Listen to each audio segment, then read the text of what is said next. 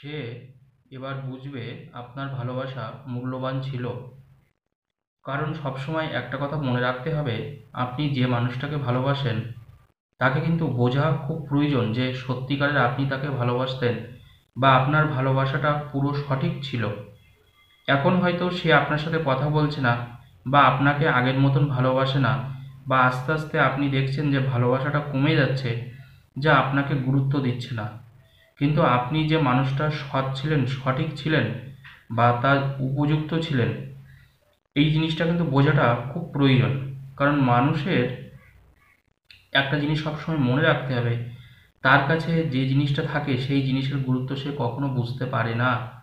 যখন তার কাছে সেই জিনিসটা থাকে না, তখন মানুষ কিন্তু সেই জিনিসের আসল কদরটা করতে শেখে। আজকে এমন একটা জিনিস আমি দেখাবো আপনাদের, যার মাধ্যমে আপনারা বুঝতে পারবেন যে কীভাবে কোনো ভালোবাসার মানুষকে আকৃষ্ট করতে হয়। এবং যাকে আপনি ভালোবাসেন, এবার সে বুঝবে যে আপনার ভালোবাসা কতটা মূল্যবান ছিল। কারণ সে যদি একবার তার মাথায় গেঁথে যায় যে আপনি সত্যিকারের তাকে ভালোবাসতেন এবং আপনার ভালোবাসাটা সঠিক ছিল, মূল্যবান ছিল, তখন একটা জিনিস মনে রাখবেন, সে কিন্তু ভবিষ্যতে কোনোদিন আপনাকে আর ছাড়বে না। কোনোদিন ছাড়তে পারবেই না। কারণ সে হয়তো আপনাকে বাদ দিয়ে অন্য কারুর সাথে প্রেম ভালোবাসায় জড়িয়ে পড়েছে, অন্য কারুর সাথে সম্পর্কে জড়িয়ে পড়েছে। কিন্তু তার যে সম্পর্ক, সে নতুন করে আরেকজনের সাথে সম্পর্কে জড়িয়ে পড়েছে আপনাকে বাদ দিয়ে, তখন সে কিন্তু বুঝতে পারবে যে সেই বিবেচনাটা বা সেই চিন্তাটা কিন্তু সঠিক না। কারণ আপনার যে মূল্যবান জিনিস, আপনি যে কতটা মূল্যবান বা আপনি যে ভালো মানুষ, কারণ জানবেন প্রেম ভালোবাসা সবার সাথে হতেই পারে। কিন্তু একজন ভালো মানুষের সাথে প্রেম, ভালোবাসা হওয়া, এটা কিন্তু ভাগ্যের ব্যাপার, এটা আমাদের মাথায় রাখতে হবে। জানবেন, সঠিক স্ত্রী পাওয়া বা সঠিক স্বামী পাওয়া বা একে অপরের পরিপূরক, এই জিনিসটা কিন্তু পাওয়া সত্যি মানে বিরল, আমরা বলতেই পারি, আদর্শ জুটি। কথায় আছে না যে আদর্শ জুটি? তো আদর্শ জুটি হওয়া কিন্তু সত্যি খুব কষ্টকর। আপনি যে কোনো কাউকেই ভালোবাসতে পারেন, তাতে কোনো বাধা নেই।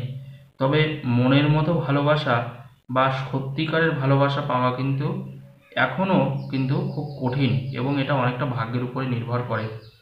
তো এবার সে বুঝতে পারবে যে আপনার মূল্যটা কী ছিল বা আপনি তাকে কতটা ভালোবাসতেন, তা সে কিন্তু এবার সেই গুরুত্বটা বুঝতে পারবে। এবং এইটা বোঝার পরে সে কোনোদিন আপনাকে আর ছাড়তে পারবে না। আজকে সেই জিনিসটাই আমি দেখাবো। যে সে ফিরে তো আসবেই আপনার ভালোবাসার মানুষ ফিরে তো আসবেই কামব্যাক তো অবশ্যই করবে।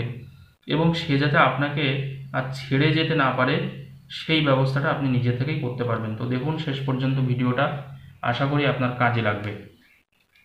যাকে আপনি ভালোবাসতে চাইছেন, এবার সে কিন্তু আপনাকে আর ভুলতেই পারবে না।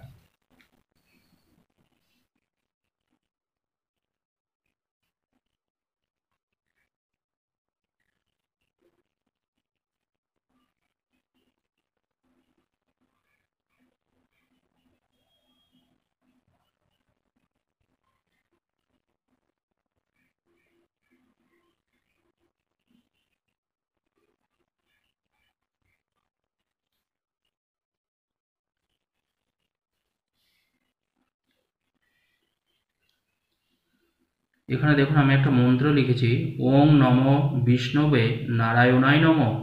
ওং নম বিষ্ণবে নারায়ণায় নম।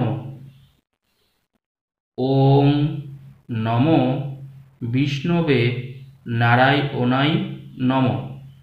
ওং নম বিষ্ণবে নারায়ণায় নম। দেখুন মন্ত্র মন্ত্র জপ করলে আমাদের সব সময় উন্নতি হয়, এটা আমাদের মাথায় রাখতে হবে। কারণ এই জিনিসটা কিন্তু এর যে ফলটা হয়, মানুষ দেখুন সব কিছুর জন্যে অনেক মানুষ দেখবেন শিকড়, বিভিন্ন শিকড় ধারণ করে, গাছের শিকড় ধারণ করে, তার নিজের উন্নতির জন্যে বা কোনো ভালোবাসার জন্য হতে পারে। যে এবার আপনি কি ধারণ করছেন সেটা তার উপরে নির্ভর করে। আমার মূল বলার বক্তব্য হচ্ছে এটাই, আপনি শিকড় ধারণ করুন বা স্টোন ধারণ করুন, পাথর ধারণ করুন যাই করুন না কেন, কিন্তু মন্ত্র জপ করলে জানবেন, তার থেকে আমরা তাড়াতাড়ি ফলটা পাই। এটা সবসময় মাথায় রাখতে হবে। কারণ এর যে কাজটা হয়, সেটা কিন্তু আরও দ্রুত গতির কাজ। যদি আমরা ট্রেন হিসেবে ধরা যায় তাহলে এটা যদি, ওইগুলো যদি লোকাল ট্রেন হয়, এটা কিন্তু প্যাসেঞ্জার ট্রেন মানে সরি প্যাসেঞ্জার না মানে দুরন্ত এক্সপ্রেস জাতীয় কিছু বলতে পারেন আপনারা। মানে এর গতিটা কিন্তু আরও বেশি। তো মন্ত্র জপ করলে যেমন মানুষের নেগেটিভিটি কাটে, ঠিক তেমনি তদ্রূপভাবে মানুষের গ্রহগত দোষ কাটে এবং মানুষের মনের ইচ্ছাটাও কিন্তু পূর্ণ হয়। তো এই মন্ত্র জপ করলে প্রত্যেকটা মানুষ যখন সকালে স্নান করার পরে বা যে কোনো সময় যখন ঈশ্বরের নাম স্মরণ করে, তো সেই মানুষ কখনো খারাপ থাকতে পারে না। আজ পর্যন্ত মানুষ মন্ত্র জপ করে উপকার হয়নি বা খারাপ আছে, এরকম মানুষ কিন্তু আমি খুব কমই দেখেছি বা দেখিনি বললেই ঠিক বলা হবে হয়তো। তো এইটুকু বলতে পারি আপনার ভালোবাসা মানুষকে ফিরে পাওয়ার জন্য এই মন্ত্রটাকে আপনি কীভাবে ব্যবহার করবেন, কীভাবে জপসিদ্ধ করবেন? তো এই মন্ত্রে কিন্তু আপনার শুধু ভালোবাসার মানুষ ফিরে আসবে তা না, সে আপনার মূল্যটাও কিন্তু বুঝবে। সে যেমন একাধারে আপনার মূল্য বুঝবে, ঠিক অনুরূপভাবে আপনার গুরুত্ব বুঝবে এবং আপনার সাথে যে কতটা ভালো আগে যে সম্পর্ক ছিল তার সেই পুরানো স্মৃতিগুলো বারংবার মনে পড়বে। তো মন্ত্রটা আছে ওম নম বিষ্ণবে নারায়ণায় নম। ওম নম বিষ্ণবে নারায়ণায় নম। এই মন্ত্রটা আপনি একটা সাদা কাগজে লাল কালি দিয়ে লিখবেন, যেভাবে আমি লিখেছি ওম নম বিষ্ণবে নারায়ণায় নম। এই মন্ত্রটা সাদা কাগজে লাল কালি দিয়ে লিখে আপনি যে জিনিসটা করবেন, সেটা হচ্ছে প্রথমে আপনার নিজের নামটা লিখে দেবেন। তো আমি লিখছি আপনার নিজের নাম সন্তু রায়। যোগ চিহ্ন দিয়ে আপনি যাকে ভালোবাসেন, তার নাম পূর্ণিমা দাস। আমি কিন্তু উদাহরণ হিসেবে নামটা লিখেছি। মনে করুন আপনার নিজের নাম হচ্ছে সন্তু রায়। আপনি যাকে ভালোবাসেন, তার নাম পূর্ণিমা দাস। তো প্রথমে আপনার নিজের নামটা লিখবেন, যোগ চিহ্ন দিয়ে আপনার ভালোবাসার মানুষের নামটা লিখবেন। লেখা হয়ে গেল আর তার উপরে আপনি লিখেছেন, ওং নম বিষ্ণবে নারায়ণায় নম। ব্যাস, লেখার পরে আপনি এরপরে এই মন্ত্রটা বারোবার জপ সিদ্ধ করবেন, ভগবান বিষ্ণুর নাম করে।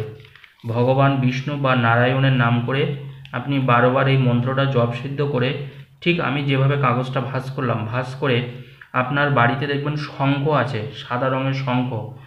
প্রত্যেক মা বোনেরা যখন পুজো করে, শঙ্করধ্বনি দেয় বাড়িতে, উলুধ্বনি, শঙ্করধ্বনি দেয় তো সেই শঙ্খ চাপা দিয়ে আপনাকে কাগজটা রাখতে হবে। শঙ্খ চাপা দিয়ে কিন্তু এই কাগজটা রাখতে হবে, মাথায় রাখবেন। এই কাগজটা কীভাবে রাখবেন? এই কাগজটা আপনাকে শঙ্খ চাপা দিয়ে রাখতে হবে। শঙ্খ হচ্ছে অত্যন্ত পবিত্র একটা জিনিস এবং অত্যন্ত পজিটিভ জিনিস একটা জিনিস। যে শঙ্করধ্বনির মাধ্যমে বাড়িতে শুভ শক্তির আগমন ঘটে এবং সমস্ত অশুভ শক্তি বা নেগেটিভ এনার্জি দূরীভূত হয় এবং ঈশ্বরের আগমন ঘটে বাড়িতে। এবং বাড়ি যথেষ্ট ভালো হয়। তো এই শঙ্খ দিয়ে যদি আপনি চাপা দেন এই কাগজটা, তাহলে আপনি যে উদ্দেশ্যে এই কাগজটার উপরে মন্ত্র এবং আপনার নাম, যোগ, ভালোবাসার মানুষের নাম লিখেছেন, সেই জিনিসটা কিন্তু পূর্ণ হতে হবেই। অর্থাৎ আপনার মনস্কামনা পূরণ হবে, আপনার ভালোবাসার মানুষ নাছোড়বান্দা বা জেডি হয়ে উঠবে আপনার সাথে কথা বলার জন্যে। তাকে কিন্তু শিকল পড়ালেও কিন্তু আটকানো সম্ভব নয়। সে আপনার সাথে কথা বলবেই। দেখা তো করবেই এবং আপনার সাথে সম্পর্ক রাখবেই। অর্থাৎ তাকে কোনোভাবে রক্ষা যাবে না আপনার সাথে মেলামেশা করানোর জন্যে। তো অত্যন্ত একটা জিনিস, যারা ভালোবাসায় কষ্ট পাচ্ছেন, দুঃখ পাচ্ছেন, ভালোবাসা চলে গেছে, তাদের জন্যে এটা একটা অন্যতম সেরা কাজ বলে আমি মনে করছি। তো আপনারা কাগজটা কিন্তু বাড়িতে যে শঙ্খ আছে, ওই শঙ্খ দিয়ে চাপা দিতে হবে শুধু একটাই নিয়ম। ওই শঙ্খ দিয়ে এই কাগজটা শুধু চাপা দিয়ে রাখবেন একুশ দিন। ওই শঙ্খ দিয়ে একুশ দিন চাপা দিয়ে রাখবেন। তবে যখন শঙ্খ বাজাবেন, তখন আপনি বাজিয়ে নিন, তারপরে আবার চাপা দিয়ে রাখুন। শঙ্খ তো দেখুন সারাদিন রাতকেও বাজায় না, যখন পুজো হয় বাড়িতে সকাল সন্ধ্যা তখনই মানুষ বাজায়। সেই সময় মানে সেই সময় বাদ দিয়ে বাকি সময়টা আপনি চাপা দিয়ে রাখবেন। কোনো অসুবিধা নেই, টানা একুশ দিন চাপা দিয়ে এটাকে জলে ফেলে দেবেন। এরপরে দেখুন আপনার ভালোবাসার মানুষটা আপনার জন্য সে কী করে। ধন্যবাদ। যদি ভিডিওটা ভালো লাগে অবশ্যই লাইক ও শেয়ার করবেন। ধন্যবাদ।